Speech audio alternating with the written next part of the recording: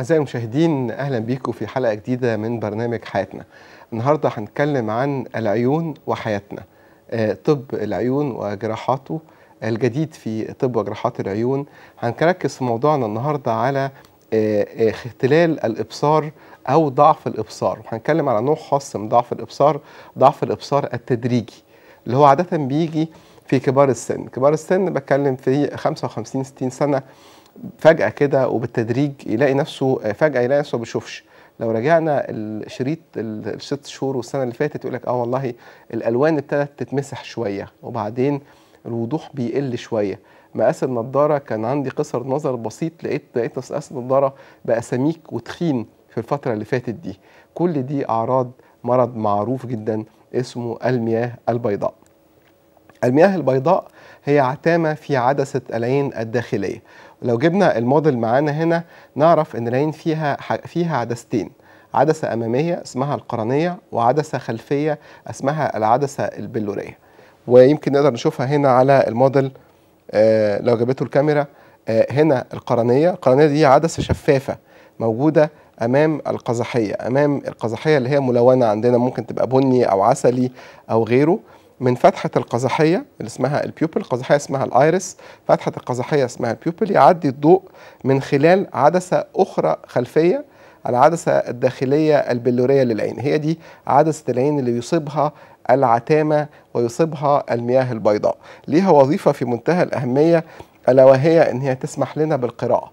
يعني لما بتيجي نقرأ من من حاجة قريبة من العين العدسة الداخلية دي تنقبض تزيد قوة العين فالصورة تيجي ساقطة على مركز الإبصار في الشبكية.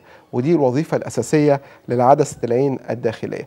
لما بيحصل فيها عتامة لأسباب متعد- متعددة هنقولها دلوقتي يجي الضوء يعدي يلاقي جزء من الضوء امتص في هذه العتامة والضوء ما يجيش على مركز الإبصار في الشبكية. اذا يحكم العين نظام متناهي الدقة من العدسات يبدأها بالقرنية ودي عدسة ثابتة قوتها عالية جدا. وعدسة الأخرى متغيرة الوظيفة الأساسية بتاعتها في القراءة إن هي لما بنيجي نشوف من مسافة قريبة ولازم الواحد يسأل نفسه إزاي أقدر أشوف بوضوح وأنا شايف على 30 سم أو 35 سم وبعدين أبص على القمر وعلى النجوم وأشوفهم بنفس الوضوح. وذلك لسرعة انقباض وانبساط هذه العدسة الداخلية اللي فيها لوحدها إعجاز كبير في آه، آه، الخالق آه، وإبداعه في خلقه. تصيب هذه العدسة, عتمات لأسباب كثيرة منها الأسباب الخلقية. كتير جدا عندنا من الأسر يجي الأب عنده مية بيضة مولود بيها نتيجة جين انتقل من الجد أو الجدة وينقل ذلك إلى الأحفاد.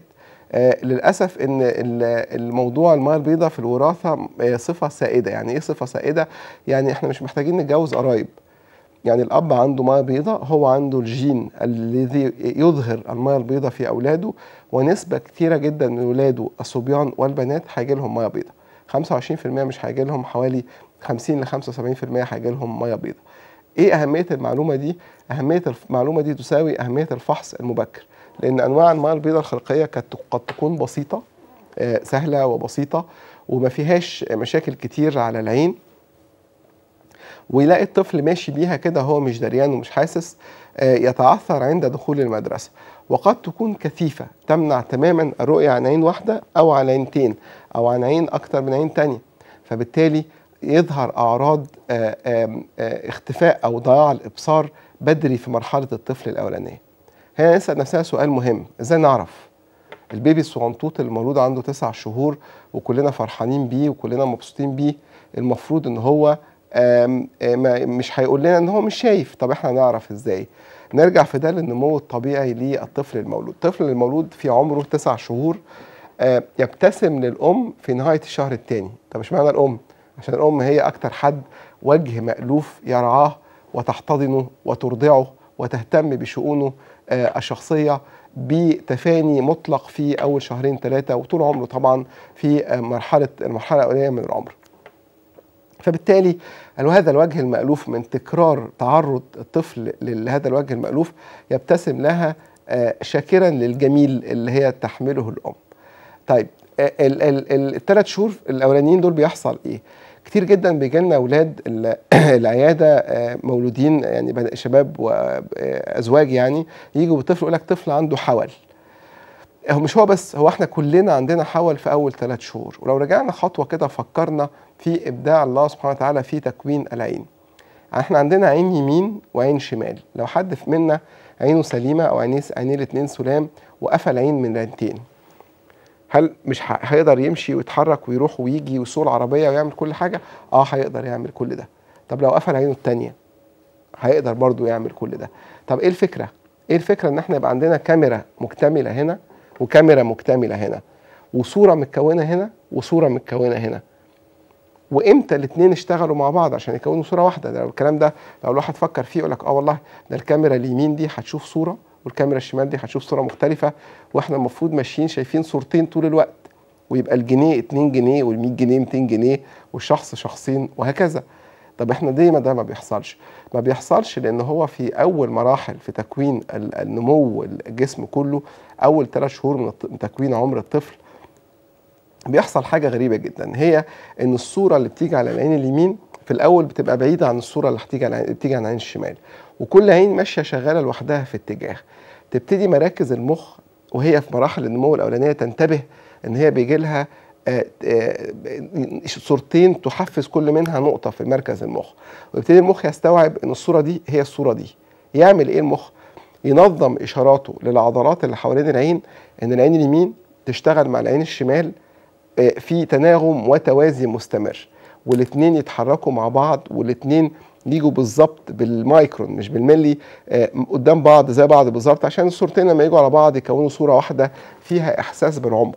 وعشان كده إحنا من غير ما ناخد بالنا من غير ما نعرف لو إحنا عندنا مكان ضيق لركن العربية نركن العربية بسهولة ويسر في المكان الضيق ده. ليه؟ لأن العينين يستخدموا للإحساس بالعمق. نعرف إن العربية اللي ورا دي رصيف هنا والعربية هنا والحتة دي مزنوقة والحتة دي مفتوحة وده شعور يعني أعلى درجات الإبصار هي الاستريوبسس أو الإحساس بالعمق. فبالتالي لو رجعنا الطفل في ثلاث شهور كل عين بتروح في اتجاه والحول مسموح وكلنا كان عندنا حول في مراحل المبكرة من عمرنا. آه بعد ذلك ابتدت المخ ينتبه إلى آه إن العين آه دي لازم تشتغل مع العين دي وضع هذا الحول الدليل على ده ابتسامه الطفل الأم عند. في في منتصف أو نهاية الشهر الثاني. بنتكلم هنا على الطفل كامل النمو المولود في الشهر التاسع. طيب وإيه تاني يحصل يعمل الطفل؟ يجي بعد كده يشوف الأشياء تتحرك في مجال الإبصار. يعني لو جينا مثلا عروسة ملونة ألوان الحمراء بالذات بتستثير الجهاز العصبي للعين نلاقي وحركناها قدامه كده رايح جاي يبتدي الطفل يتابعها بعينيه من غير ما يكون فيها صوت من غير ما تكون عروسة بتغني أو بتشخشخ أو بتعمل آه أي صوت من منبه ليه أو محفز للطفل. يبقى دي التاني علامة. طيب آه تالت حاجة إن يكون شكل عينه طبيعية. يعني ما يكونش في أي حاجة مش طبيعية في نظرة الأم لعيون طفلها أو اللي حواليه لنظرة عيون آه طفلها. دي رقم ثلاثة طيب لو اتأخرنا في ده لو الطفل ما ابتسمش للأم أو مش متابع الجهات أو ابتدت تظهر معاه حاجة من اتنين حول في عين من العينتين أو هزة للعينتين العينين بيتهزوا في كل الاتجاهات. الهزة دي علامة في منتهى الخطورة لأن هي بتعكس عدم وضوح رؤية إن الطفل ده ما بيشوفش بالاتنين وإن الحاجب للرؤية عنيف وقوي وكثيف. ودي حاجة في منتهى آه الخطورة اللي في الدنيا بالذات في مرحلة من نمو عمر الطفل. فبالتالي دول الثلاث حاجات اللي هم يعني يخلونا ننتبه إن في حاجة مش طبيعية. إيه تاني؟ لو إحنا بصينا في عين الطفل لقينا النمني الأسود ده أو البيوبل أو اللي هو جوه الايرس الأسود ده ما بقاش أسود. بقى فيه لمعة في أي اتجاه من اتجاهات النظر. دي علامة أخرى في منتهى الخطورة. يعني إيه اللمعة؟ اللمعة معناها إن في حاجة حاجبة الضوء إنه يدخل لجوه ويطلع كاملة وبيتكون بذلك الحدقة السوداء. لو في لمعة حاجة بنسميها اللوكوكوريا أو الحدقة البيضاء دي تعكس حاجات في منتهى الأهمية وقد يكون منها في منتهى الخطورة للطفل ومنها الحاجات البسيطة اللي هي المياه البيضاء وقد نوصل إلى أورام شبكية العيون السرطانية عند الأطفال ودي حاجة في منتهى الأهمية. إحنا الحقيقة خدنا بالتعود كده إن إحنا نصدق الأم. يعني لو الأم جت قالت لي يا دكتور أنا شايفة في عين ابني حاجة بتلمع وهو بيبص فوق أو هو بيبص تحت بناخد الشكوى دي في منتهى الجدية اللي في الدنيا نحط قطره للطفل كتفه نفحص الشبكية حتة حتة قد نلجأ للتصوير ون- ونمشي ورا شكوى الأم. ليه؟ لأن الأم صادقة. ليه؟ لأن هي شغلانتها في أول شهور في حياة الطفل إن هي تبص في وشه ولو إحنا خدنا إن إحنا نبص في وش حد كل يوم هنلاحظ الفروقات. لو إحنا جنب المكتب بتاعنا كده صورة متعلقة وإحنا قاعدين بنذاكر في أيام زنقة هنبص على الصورة كل يوم كل يوم كل يوم لغاية ما اكتشف إن الصورة دي فيها ديفوهات. شايفها هنا؟ شايفها هنا أكتر من شايفها هنا دي العين دي مش مظبوطة العين دي وهكذا. ال- الحاجة الأخرى ال- آه في فاصل يا جماعة هنطلع فاصل وهنرجع لكم لاستكمال حكاية المياه البيضاء. ابقى معنا.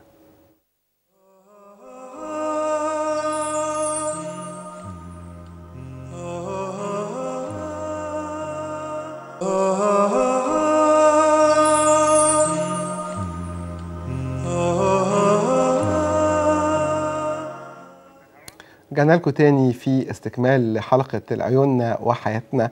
آه، جالنا في الفاصل SMS كتير. هنشوف أن نرد على أجزاء منها. أذكركم النهارده إن حلقتنا عنوانها ضعف ال- النظر التدريجي بسبب المياه البيضاء. آه، في حد بيسأل عنده ضمور جزئي في عصب العين منذ خمس سنوات نرجو الإفادة. الحقيقة بس أنا احب إيه اللي يبعت اللي يبعت SMS يقول لنا سنه ويقول لنا آه أنهي عين فيهم. لو عنده ضغط أو سكر لأي سبب. ضمور العصب أسبابه كتيرة. قد يكون ضمور خلقي. منذ الولادة قد يكون ضمور نتيجة ارتفاع ضغط العين نتيجة إصابة كدمة أو إصابة والحقيقة الإصابات اليومين دول كتير جدا بنشوفها. الحقيقة للأسف الشديد آه، في العين. آه، قد يكون نتيجة مرض أمراض مزمنة زي الإهمال الشديد في مرض السكر زي التهابات العصب البصري في السن المتقدم. فهو أنت بتتكلم عن حاجات واسعة جدا. نحب نحدد أكتر نقدر نرد عليك. الاستجماتيزم في العين بربع درجة عن اليسر هل ممكن يزيد؟ أنا عندي 19 سنة. والله يا جماعة إحنا بس أحكي لكم حكاية الاستجماتيزم عشان ما حدش يبقى آه، مخضوض. إحنا لو تفتكروا في الح- في أول حلقة قلنا عن القرنية. القرنية عدسة قوية عبارة عن جزء من دايرة جزء من كورة آه، عالية الانتظام. وراها العدسة البلورية الداخلية اللي هي بتصاب بالمياه البيضاء. لو جبنا الموديل هنا برضو تاني هنشوف إن القرنية والعدسة البلورية وظيفتهم تجميع الصورة على مركز الإبصار في الشبكية. ولو رجعنا للدرس اللي خدناه في تانية إعدادي هنعرف يعني إيه قصر نظر وطول نظر وأستجماتيزم. يمكن الموديل هنا يقدر يشرح ذلك إن الصورة اللي بتيجي ساقطة من ما لا نهاية. على سطح القرنية وعلى العدسة الداخلية بتيجي في نقطة بؤرية بسمها اللطخة الصفراء. تاني إعدادي كتاب العلوم اللطخة الصفراء أو البقعة الصفراء جنب مركز الإبصار. هي مركز الإبصار جنب العصب البصري. وظيفتها تجميع الصورة على مركز الإبصار. الصورة تروح عن طريق العصب للمخ نشوفها مكتملة. لو أنا عندي القرنية دي أقوى شوية من الطبيعي تحدبها زيادة الصورة تيجي هنا في الفراغ بتاع العين. تتكون لها ظل مش في نقطة مركز الإبصار على مساحة. الظل ده صورة غير واضحة. آه عشان كده بنصلح قصر النظر بالنضارة اللي هي بتيجي تتحط أو بالعدسة اللاصقة طول النظر بالعكس القرنية دي ضعيفة فالصورة تيجي تتكون ورا هنا النقطة البؤرية بتاع الصورة تتجمع ورا آه، ويظهر ظلها على مركز الإبصار. الاستجماتيزم هو عدم انتظام في سطح القرنية يعني هنا التحدب أكتر من الناحية التانية. فالصورة تتكون في خط ما تجيش في بؤرة تتكون في خط سواء قدام الشبكية في قصر النظر أو على الشبكية في ال astigmatism اللي هو قصر وطول نظر أو خلف الشبكية في ال astigmatism اللي هو طول نظر. فبالتالي نصلحها بنوعين من العدسات اللي هي ال- ال- ال- العدسة الكروية والعدسة ال- السلندر اللي هي السلندر معرفش السلندر فال ال- عايز بس أقول لكم حاجة تانية مهمة إن لو في فرق بين طول عيني وطول عينك ملي فبيفرق ده ثلاث درجات في مقاس النضارة. فيا جماعة ما تنزعجوش لما يبقى عندنا ربع نمرة ونص نمرة وثلاث أرباع نمرة والكلام ده ده كلام تغير عن الطبيعي. والحقيقة ربنا على قد ما هو خلقنا متشابهين خلقنا مختلفين. فبالتالي لا ننزعج من ربع نمرة ونص نمرة ونلاقي حد واحد ماسك كده آه، كارت مقاسات نضارة راح للدكتور الفلاني ففي ربع والزاوية 168 والتاني قال له ربع والزاوية 170 والتالت قال له تلات ارباع ونص يعني دي حاجات كلها مش المفروض نشتغل بيها قوي لأن إحنا اللي بنقيس عينينا وبنفضل العدسة الفلانية دي عشان نشوف بيها كويس فدي حاجة ما تزعجناش. آه في حد تاني بيقول والله أنا عملت ليزك من 15 سنة وبعد سبع سنين بدأ نظري يقل إلى حد ما وعنده مشاكل في السواقة بالليل حتى مع النضارة عايزين حل. آه اللي أنا عايز أقوله لكم إن يعني الحقيقة آه أقصى ضمان لعربية جديدة قد إيه؟ ثلاث سنوات أو مئة ألف كيلو فما نبقى عاملين عملية في أنسجة حية وجسم صاحي ويبقى سبع سنين عايشين كويس يبقى الدكتور اللي عملها لك ده راجل جميل وربنا وفقه وبارك فيك والدنيا مشيت كويس خالص. ال إحنا يا جماعة ما عندناش في الطب 100% يعني مفيش حد يقول لك والله أنا هدخل 100% هتكون نتيجة المية البيضاء أو حتى الحاجات البسيطة. فبالتالي نحترس في إن إحنا بنتعامل مع أنسجة حية ليها تفاعلاتها مع ال ال الدواء اللي بنديه لها سواء بالليزر أو بالمشرط الجراحي. في اتصال تليفوني ناخده؟ أستاذ محمد اتفضل يا فندم. ألو السلام عليكم. وعليكم السلام حضرتك يا دكتور؟ أهلا وسهلا يا لو سمحت يا دكتور كنت عايز أستفسر. كانت آه، آه، والدتي كانت عملت كده من حوالي سنة آه، عملية مية في العين. مية بيضاء مية بيضة بالظبط. تمام. جينا كده حوالي من يمكن من حوالي ثلاث أسابيع كده كان في زي دم ظهر في أسفل عينيها. في البياض. صحيت من النوم لا آه في الأسفل اسفل اللي هي من تحت من البياض. آه. في البياض مش كده؟ آه. صحيت من النوم لقيت آه لقيت الدم ده. عندها عندها ضغط أو سكر؟ لا. بتاخد أسبرين أو حاجات مسيله للدم؟ آه لا خالص يعني. بس هي يعني هي راحت لل- للدكتور قال لها إن إن دي زي عرق كده آه. في العين. آه، يعني حصل له يعني فرقعة زي قطع كده آه. فأدى إلى ال- إلى ال- الدم. ده نزل. مظبوط يا فندم آه. تمام. فهو كمان يعني أنا عايز أعرف من حضرتك يا دكتور هل العرق ده بيتلحم تاني ولا يعني إيه اللي بيحصل فيه بالظبط؟ وهو إيه سبب أصلا اللي أدى كده؟ هو قال ممكن عشان تعصب أو حاجة زي كده؟ هي غالبا زعقت اليومين اللي فاتوا دول وأتمنى ما اكونش زعقت لك ولا حاجة في القصة دي. هرد عليك. ال- الحقيقة إحنا لو اتخبطنا في إيدينا إيدينا بتزرق. صح ولا لأ؟ بتزرق. بتعمل كدمة والكدمة بعد شوية بتمتص وبتروح لحالها سواء حطينا عليها مراهم أو ما حطيناش ال- البياض بتاع العين يا جماعة مش إحنا شايفينه سك قدامنا كده لا ده عليه طبقة مخاطية طبقة من الأغشية المخاطية زي الغشاء المخاطي بتاع الفم داخل الفم. الطبقة دي مرطبة بالدموع ودي اللمعة اللي بنشوفها في عين الشخص لما بنشوفه. الطبقة دي وظيفتها إن هي يعني تلين احتكاك الجفون بالعين عشان كده نقدر نحرك العين في كل الاتجاهات من غير تعب ومن غير ما يبقى فيه احتكاك أو خشونة.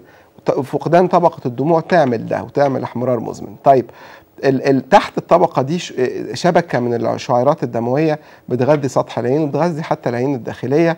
أوقات شعيرة نتيجة إن واحد زعل أو زعق أو عنده إمساك أو كح كحة شديدة أو عنده سكر أو ضغط أو بياخد أدوية سيولة آه، وأمراض أخرى كتير تفرقع هذه الشعيرة الدموية وخلاص. هي بتفرقع شعيرة بنتكلم عن حاجة قد الشعراية تنزل نقطة دم. نقطة الدم دي تروح مفرودة في آه، المساحة اللي موجود بين الملتحمة غشاء العين وبياض العين. شكلها بيبقى مزعج شوية ولكن الحقيقة إحنا بنشيك إن مفيش أي قابلية أخرى للنسف بنطمن على صحة العين وبنتابع بعد كده. هي بتروح لوحدها سواء خدنا القطرة أو ما خدناش القطرة تاخد لها أسبوعين ثلاثة كده وبتروح لحالها وهي مزعجة لكن هي لا تؤثر على الإبصار. فمن ذكر إن عمل عملية ليزك 15 سنة وبعد سبع سنين ابتدى نظره يحتاج نظارة آه نعمل نظارة. إيه المشكلة يعني؟ يعني عندك ربع نمرة أو نص نمرة. بالإضافة إن أنت في ال 15 سنة اللي فاتوا دول أنت اتغيرت. أنت ما بقتش أنت. أنت بقيت أنت زائد 15 سنة. شعرك ابيض شوية صحتك ما بقتش زي الأول. أنا أفترض إن أنت عملت عند وهي عندها عندك 20 سنة أو 21 سنة فدلوقتي إحنا بنتكلم في متوسط 35 36 سنة. هل أنت نفس الشخص؟ لا أنت مش نفس الشخص. بالتالي التغيرات المقبولة إنك تلبس نظارة أو تلبس عدسه لاصقه أو لو أنت مش عايز ده خالص إحنا بنعمل تاني اختبارات زي زمان لأن إحنا اتطورنا قوي في الليزك جراحات الليزك في ال 15 سنة اللي فاتوا ونشوف إيه بالظبط اللي مضايقك لأن في حاجات أخرى غير قوة الإبصار قد تؤدي إلى ده يعني إلى ال- ال- التعب بالذات بالليل وإحنا سايقين العربية. الواحد بيبقى سايق العربية ولابس النضاره ويقول لك الأنوار مزغللاني. لما يجي حد من قدامي وهج إضاءة السيارة قدامي بتشل حركتي ببقى خايف أخبط فيه. دي شكاوي مشروعة ليها حلول بعد معرفة إيه المشكلة بالظبط بالنسبة لحضرتك وإن شاء الله تكون الأمور آه، ميسرة وسهلة. في حد برضو عنده 24 سنة عنده انحراف في العين اليسرى أصيب آه، آه، ضربة في العين منذ الصغر وعمل كذا عملية وضغط العين مرتفع. من عمليات ضغط العين اللي بنعملها بعد فشل العمليات اللي هي نسبيا بسيطة أو يعني المتوسطة عملية إن إحنا نزرع صمام. الصمام ده بيبقى عبارة عن أنبوبة دقيقة بتدخل جوه العين وبتبقى واصلة بصمام يسمح بخروج الماء الزائد من العين في اتجاه واحد وعند نزول ضغط العين عن حد معين الصمام ده بيقفل.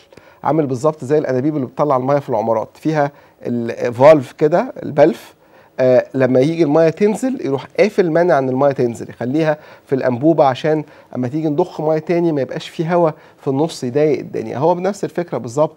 اللي عمل الصمام ده أشهر صمام معمول اسمه أحمد أحمد فالف وده بنلجا إليه في العمليات اللي فيها مية بيضاء مركبة ومعقدة ودي إن شاء الله بتسهل أو بتزود آه، درجة النجاح. الانحراف بتاع العين آه، علاجه إن إحنا بنعمل عملية حول بسيطة بس خلينا نركز على إن إحنا نحاول نصلح عينك الأول.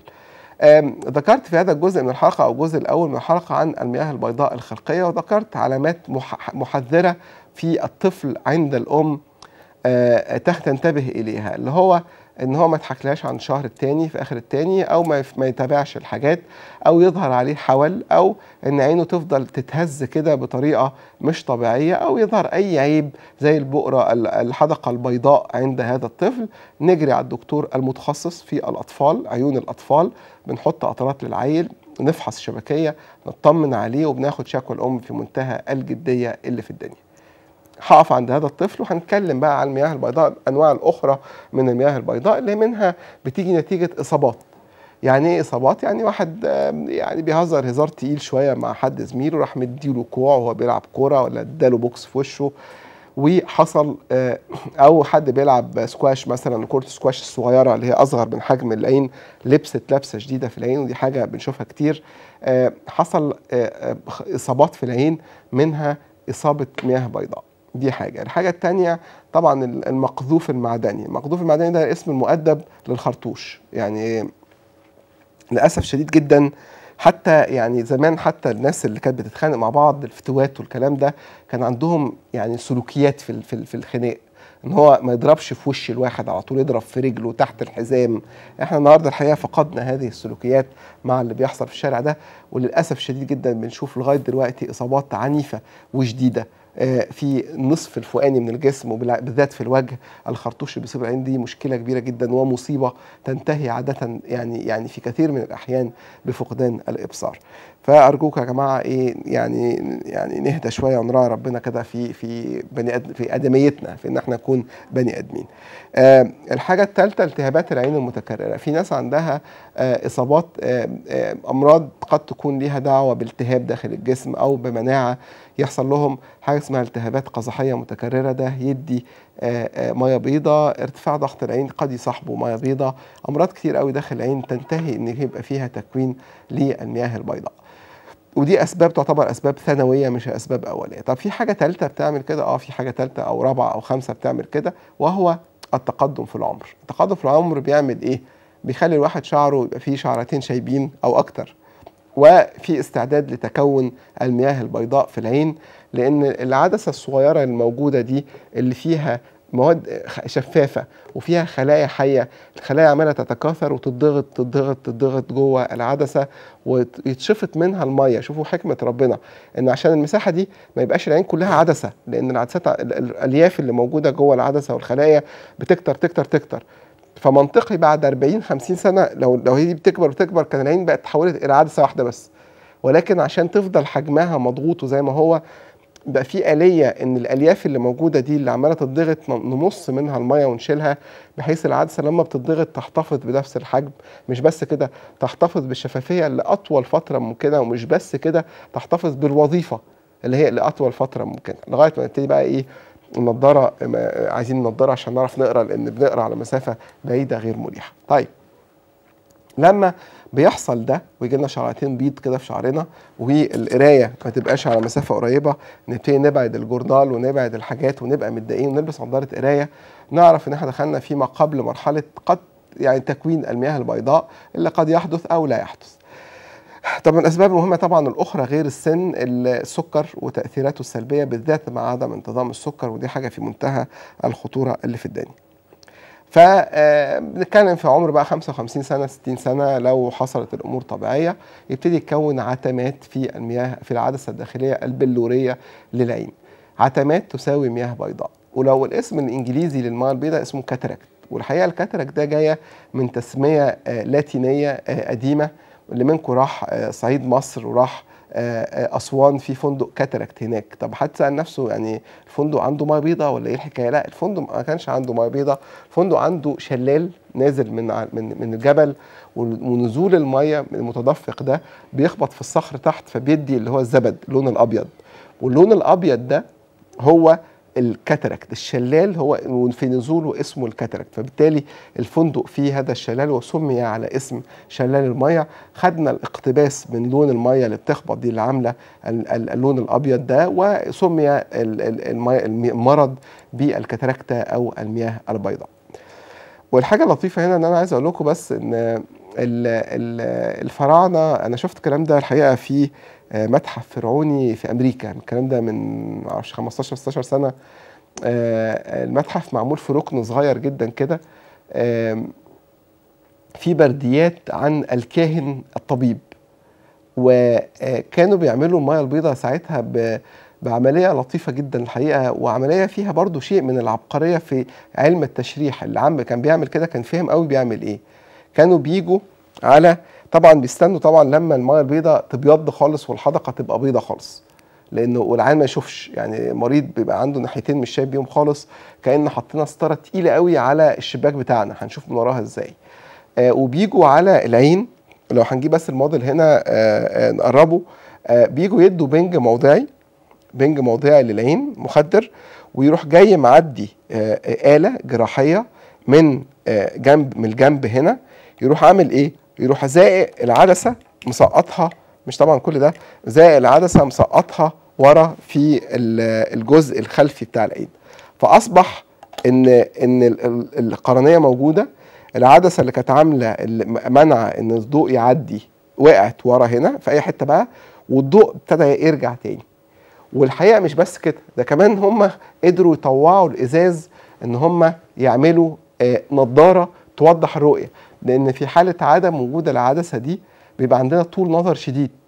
فابتدوا يعملوا نظارات تخلي الواحد يقدر يشوف منها أوضح كتير من كده. ودي كانت الطريقة الفرعونية اسمها ال couching عايز أقول لكم إن أنا كنت في أفريقيا في من يومين ثلاثة كده إن في لسه لغاية دلوقتي قرى ومدن فيها هذا ال practice هذا ال practice بتاع ال couching إن في مش الدكتور طبعا الطبيب اللي هو البدائي أو الطبيب الطبيب المحلي هناك الناس كلها بتروح له بيخلع الضرس وبيطهر العيل وبيولد الست وفي المرة بيعمل الكاوتشنج دي يروح جاي بيخطفوها بسرعة جدا الحقيقة جاي بآلة كده بعد ما يحط بنج موضعي وماسكين رأس العيان دب يروح موقع العدسة في الخلف ويروح عامل له بقى نظارة آه تخلي عينه كبيرة من تحتها كده لأن إحنا هو ما عوضلوش العدسة وشالها بطريقة مناسبة.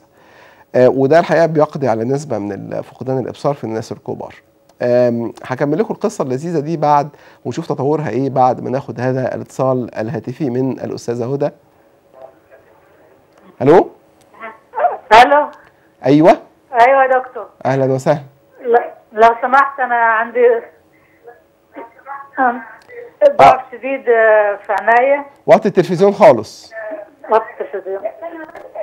آه، عندي مرض السكر أنا أصلا يا دكتور. بقاله قد إيه يا حاجة هدى؟ آه، عندي مرض السكر. بقاله كام سنة؟ آه، 38 سنة. ربنا يديك الصحة والعمر. أنت عمرك 38 سنة ولا السكر بقاله 38 سنة؟ لا السكر لي حوالي 12 سنة. 12 سنة. طيب كويس. وبعدين؟ وبعدين حصل لي نزيف حاد في الشبكية وضمور في العصب البصري والبصر بالتدريج يعني آه، نزل خالص ضعف خالص. عملتي ليزر على الشبكية يا حاجة؟ عملت آه، ليزر أيوه كذا مرة حقنتي خدتي خدتي حقن داخل العين؟ آه، خدت حقن أيوه مرتين في الاثنين بعد كده الدكاترة سوهاج قالوا ما لكيش علاج عندنا لازم تسافر القاهرة. وشوفوا لك حل هناك ويعملوا لك عمليات فأنا هنا في القاهرة من مدة من 5 8 عملت عملية على العين ال- اليمين آه، جل- آه، وبعد كده يوم الاثنين اللي فات عملت عملية على العين الشمال آه، فقالوا له في جسم زجاجي ونزيف في في الشبكية بتاعت نزيف حاد فالنظر ما تحسنش بالعكس يعني آه، ضعف أكتر فالنهاردة رحت للدكتور آه، فقال لي إحنا ما ما لنا فيش حل تاني ليك ده الشبكية هي خلاص الصورة كده ضعفت وال إحنا بس هنوقف النزيف وخلاص. لكن الابصار تاني لا ما فيش عن درجه الابصار تاني إنه يتحسن. طيب هو يعني طبعا إيه، هرد على حضرتك يا أستاذة هدى يعني طبعا أنت بتحكي قصة آه، أساسها أساسها الكبير عدم الانتظام في ضبط مرض السكر. أنت ما ظبطتيش سكرك فترة 12 سنة فحصل هذه المضاعفات. صعب أحكم على ظروف الشبكية الحقيقة في هذه الحالة. آه، يعني لو تحبي تشرفينا أهلا وسهلا نطمن عليكي ونعرف إيه سبب عدم تحسن الرؤية. فيعني وأرجو الحقيقة من الساده المشاهدين كلهم إن هم يعني ارجوكم اللي عنده سكر وضغط ما يكتفيش بس إن هو يقول لك أنا باخد الدواء لا لازم نشك نفسنا ونحلل السكر. طيب في الدقائق اللي فاضلة دي هنتكلم على علاج المياه البيضاء. زمان كنا بنعمل فتحة كبيرة نسحب منها العدسة العين ونحط نستبدلها بعدسة أخرى. تطورت القصص إن إحنا بندخل حاجة زي المجس حاجة زي القلم اللي في إيدي ده بالظبط زي القلم بوزه بهذا الرفع تقريبا. آه، بنعمل فتحة 2 مللي في جانب العين ونشفط منها المية البيضاء ونزرع عدسة في مكان المية البيضاء العدسة دي ما بتتشافش دي بتبقى ورا القزحية بتاعه العين ورا الإنسان العين وبتدينا جودة رؤية عالية جدا. التطور بقى العلم الجديد بقى في الموضوع إن الفيمتو ليزر ابتدى يدخل في الجراحات الميه البيضاء ليعطي أكثر دقة الليزر الفيمتو ثانية. وده الحقيقة تطبيقاته عالية جدا في العيون آه، في سطح العين. نقدر نعمل بيه جراحات الميه البيضاء ده رقم اثنين والتطور الثالث المهم في نوع العدسات.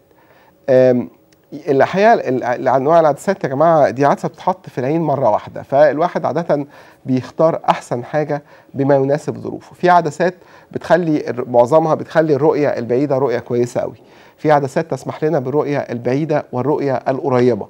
في عدسات أخرى تصلح استجماتيزم أو انحراف في القرنية. وفي عدسات أخرى تصلح استجماتيزم وتدينا قدرة على الرؤية الرؤية القريبة والرؤية البعيدة من غير نظارة. فالحقيقة الدكتور المعالج عادة ما بيقعد يشرح للمريض العدسات لأن إيه أنواعها؟ لأن أسعارها بتتفاوت تفاوتات كبيرة جدا. بالإضافة طبعا لتكلفة العملية. والحقيقة أنا ننصحكم إن إحنا نختار أنواع جيدة جدا من العدسات آه، تتحط في العين. ونسأل على نوع العدسه اللي بتتحط في العين بالذات في الأطفال. الأطفال غير مقبول إن هم ياخدوا أي حاجة في عينيهم لأن هم متوقع متوسط العمر الحقيقة عالي ولازم ياخدوا حاجة تفيدهم بقية عمرهم من غير ما نضطر نغير العدسة أو نغير مقاسها.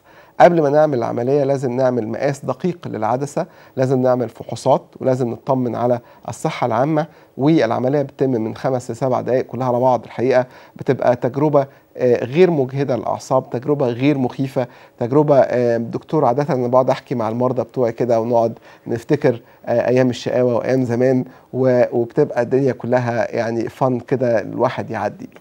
النهارده اتكلمنا على آه، المياه البيضاء في تأثيرها في حياتنا منذ الصغر إلى الكبر. اتكلمنا على أنواعها اتكلمنا على التطور فيها اتكلمنا الحقيقة على إجدادنا الفراعنة اللي هم كانوا آه، من أوائل الناس في الدنيا اللي عملوا عمليات المياه البيضاء. واتكلمنا على التطور العلمي فيها باستخدام الموجات الصوتية من فتحة لا نأخذ فيها غرز أو استخدام ال femto laser آه، وده هي حاجة يعني state of the art حاجة يعني آه، أحسن حاجة في الدنيا.